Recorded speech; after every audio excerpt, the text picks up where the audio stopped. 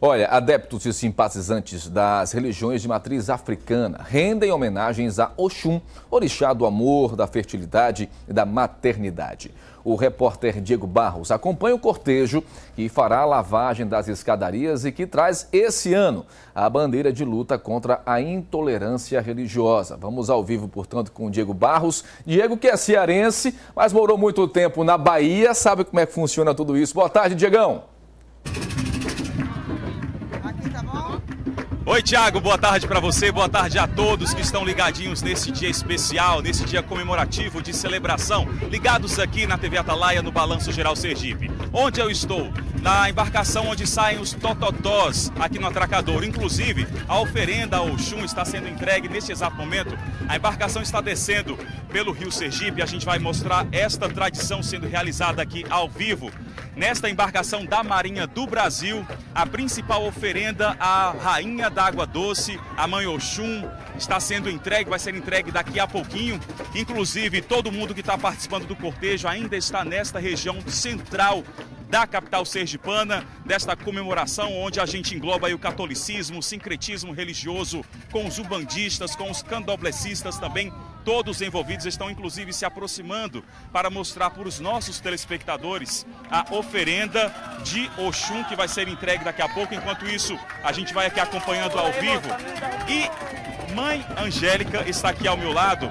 Seja muito bem-vinda ao Balanço Geral. Hoje é uma tarde, um dia de comemoração, de celebração, de união dos povos, das religiões, né, mãe? Boa tarde. É um dia de congraçamento onde a gente espera que as outras religiões tenham mais respeito com o candomblé e com a umbanda. É só isso que a gente quer. Nem tolerância, nem intolerância. Respeito. Ali, por exemplo, esta oferenda, para quem não conhece, para quem não sabe o que é, vamos explicar por que ela é realizada, por que é realizada também no dia de hoje. Olha, é realizada no dia de hoje, que Nossa Senhora da Conceição é sincretizada com a nossa Mãe Oxum. Então entregamos os presentes a ela, agradecendo por tudo aquilo que a gente passou durante o ano, os pedidos que foram atendidos. A gente traz perfume, ouro, é, perfumes, todo tipo de oferenda, inclusive as comidas secas dos orixás. Inclusive a gente vai ficar na torcida de que a oferenda seja aceita, porque tem esta, esta tradição também, né, do orixá receber, aceitar o presente e dar de bom agrado àqueles que confiam, acreditam e seguem em frente nesta confiança. Certeza, a oferenda não pode voltar.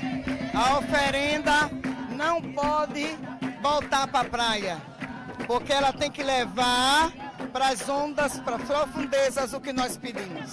É isso, muito obrigado pela participação Saúde, da senhora. De paz, de harmonia, de sossego e prosperidade.